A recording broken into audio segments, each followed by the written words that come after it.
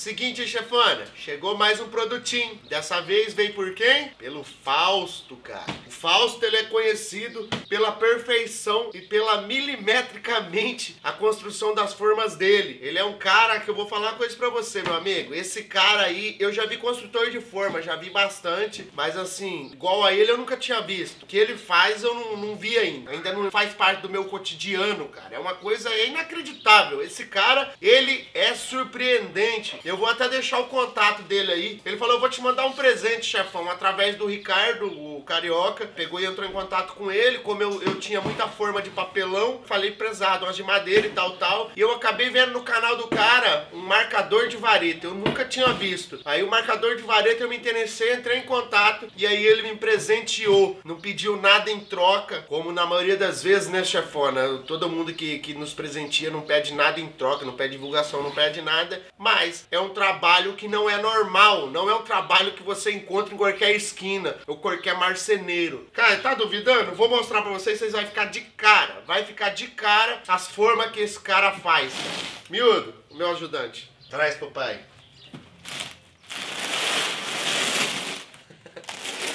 Caixa amassou, acho que o correio tava, tava na briga. Tá eu acho que o correio saiu na briga com a caixa, hein, Chefona?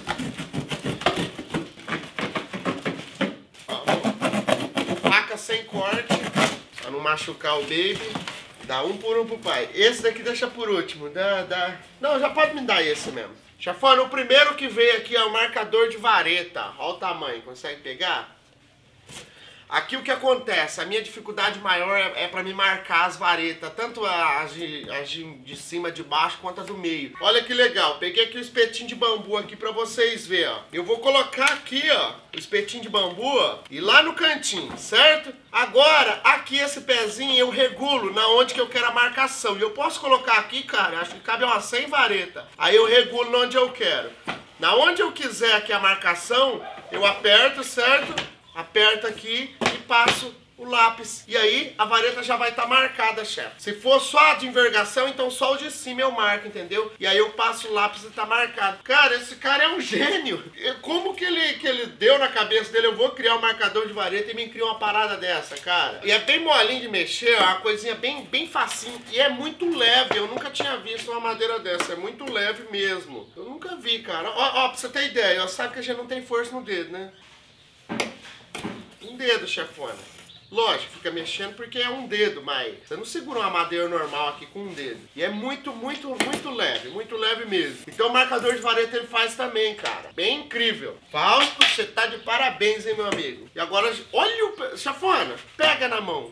Filma com uma e pega com a outra. Olha isso. Nossa. Você já viu esse peso? Meu Deus, cara. E é muito reforçada. Essa aqui é da BPC, que chama Boca de Palhaço. Essa é do Gago, certo? Essa é de 70. Essa pipa é do Gago, o Gago que criou. E tá aí, ó, a minha Boca de Palhaço de 70, cara. Monstro, né? Essa aqui é a Lion Gun, aquela raia que eu ganhei do Dente de Tubarão, né? E do amigo dele.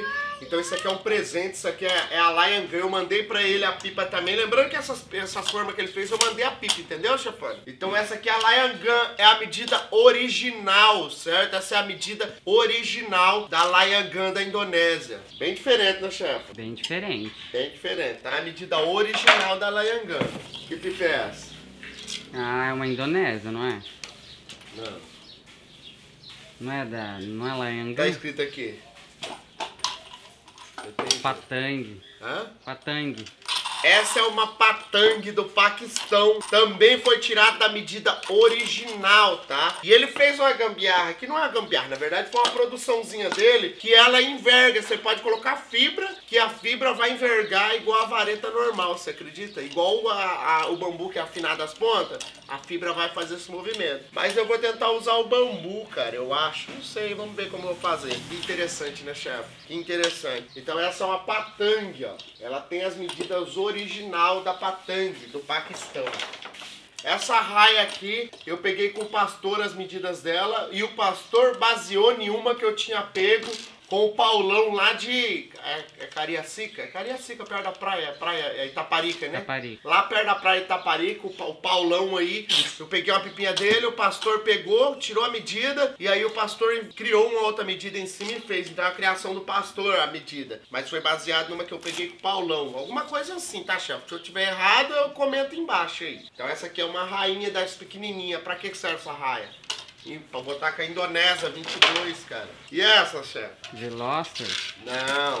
Essa aqui é um voo. Você pode ver que ela tá bem chapocada de lado dessas formas e aqui mais curta, porque aqui ele vem a linha, entendeu? Então a gente não tá colocando. Eu tô indo Mas essa, das letras. é, essa aqui não, não vai linha, tá? Mas é, é, é- Na hora que eu for fazer, vocês vão ver como que constrói ela. Então essa aqui, VLT de volantines, tá? Essa aqui é a medida original de uma raia do Chile, tá bom? Então foi tirado de uma, de uma raia do Chile. Foi feita as medidas original dela aí.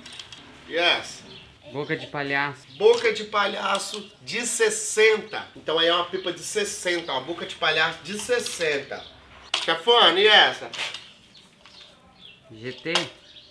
Mini GTzinha, tá? GTzinha seria. Essa aqui é a minha mini GT, a minha, minha mini boquinha de palhaço, né, chefona? Essa é uma criação minha, foi baseado no 870 do Gago e depois foi modificado, tá bom? Então foi modificado o 870 do Gago, foi colocado mais curva, foi colocado menos curva em cima, bico maior e tal. Então não é uma criação 100% minha, mas foi eu que vim inventei essa parte, né, chefe? Então foi baseado em uma do Gago, tá bom? Baseado na de 70 e modificado, e muito modificado. Todas as, as partes sofreu. Essa aqui, chefona, Isso aí eu não sei. faz ideia? Não. Essa aqui ela é tipo uma come rato, mas não tem nada a ver as medidas. É aquela vermelhinha que o neném quebrou, que eu pedi fazer a forma dela. Então essa pipinha aqui é uma pipinha bem rápida, cara, bem rápida mesmo. Então eu não sei certinho o nome dela, que foi pego na xepa, né? Caiu aqui dentro do quintal e aí a gente pegou e mandou porque eu gostei dela. Então ela é bem rápida. Então BR significa branca, porque eu mandei uma pipinha era branquinha, tá bom? Chefona, aqui na, na ponta das formas, consegue focar aqui, ó? é, é arredondado, ele lixa, pra não ficar aquela.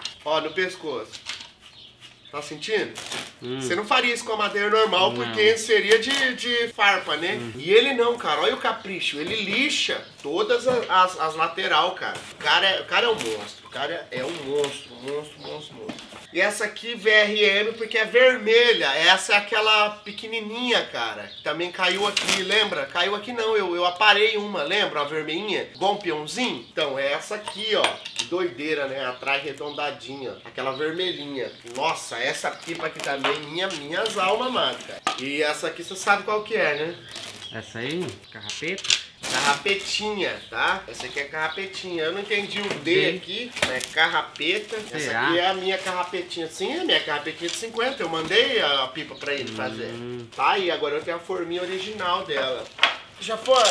E agora, uma das coisas que eu também tava esperando muito. Sabe o que é isso? O que, que é isso? De fazer armação. Galerinha, eu tinha muita dificuldade na hora de eu fazer as minhas armação, porque eu fazia no colo, né, chefe? Fica pinicando as pernas, então é uma coisa bem ruim. E agora, cara, ele mandou ó, uma base rotativa pra você colocar as formas. Ele também faz isso, cara. Ó, eu vou colocar aqui.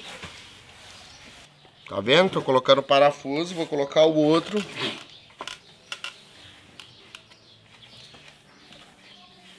Lógico, galera, tem que colocar o parafuso todo, tá, chefa? Mas eu, como eu não vou produzir pipa agora, então eu não vou, não vou me atentar a esses detalhes. Mas mais ou menos para você compreender como funciona. Entendeu mais ou menos como funciona? E aí você só vai rodando aqui, ó. Entendeu? Vai fazendo a pipinha e vai rodando.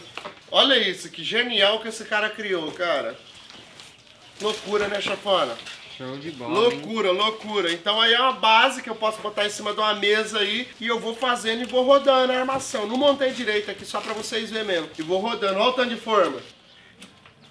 Agora partiu produzir pipa, né, chefa? Partiu. Então, galerinha, eu quero agradecer ao Ricardo, tá? Que fez essa intermediação carioca. E eu quero muito agradecer também ao Fausto, cara. Pensa num cara. Se você for lá, ele tem canal, tá? Ele tem um canal aí, tá crescendo o canalzinho dele. Você vai perceber que a forma com que ele fala, ele é tipo um gago da vida, viu, chefona? Por que o gago da vida? Porque o gago é um dos caras mais humildes que eu já conheci até hoje, cara. De toda, todas as pessoas que eu já conheci conheci. O Gaga é uma que tá em primeiro lugar. E esse Fausto, ele é igualzinho. Ele tem a mesma humildade, cara, do Gago, só que é uma coisa dele única, claro. Não comparamos a ninguém, né, cara? Então o Fausto é uma pessoa muito humilde, o jeito dele falar, a atenção que ele deu o tempo todo. E não é só comigo, chefona. É com todo mundo, cara. Esse cara, ele é um cara bem... É um cara que, sem palavras, é bem incrível aí a forma dele se comportar. Então quero mandar um abração aí pra ele bem especial e meu muito obrigado pelos presentes, cara. E quem quiser entrar em contato com ele, tá aí, né, chefona? Na descrição aí, ó, tá aí o contato dele para você pedir a sua forma lá, para você fazer o seu pedido. Você mandar uma forma para ele 60 centímetros, 1 milímetro, pois ele vai fazer 60,1. É incrível o trabalho do cara. Então é isso, né, chefa? Gostou? Gostei. Bonita, né? Bonita. Forma. Agora vai lá fazer as pipas pra mim. Agora a chefona manja, fica. Qualquer dia eu filmo a chefona fazendo pipa pra vocês verem. O contato do cara tá na descrição do vídeo aí, certo? Então é isso, galerinha. Um forte abraço pra todos vocês. Fiquem na paz e lembre-se: é a diamante. Sempre, moleque. Sempre, moleque. Valeu!